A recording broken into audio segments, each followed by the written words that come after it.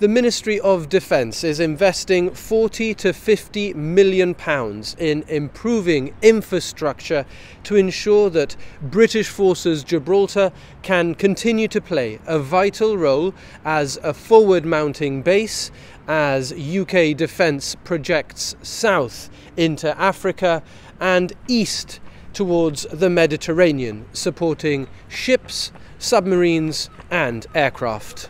During his 24 hour visit, Armed Forces Minister James Heappey met soldiers and officers of the Royal Gibraltar Regiment who recently celebrated their 84th anniversary.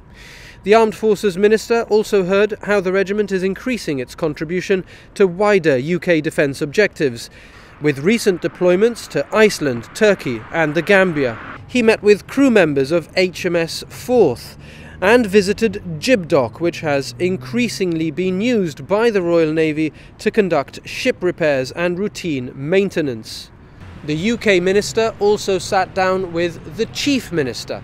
Fabian Picardo stressed the commitment of his government and also the people of Gibraltar to the British Armed Forces. The recent disruption at Gibraltar Airport was discussed in the context of services contracted by the MOD at the airport.